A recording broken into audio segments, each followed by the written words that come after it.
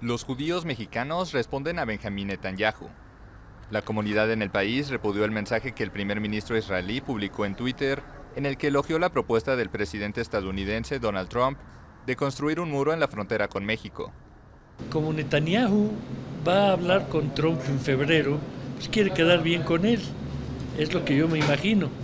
Pero pues no está bien, no está bien lo que dijo, no estamos de acuerdo con lo que dijo. El muro afecta a los mexicanos.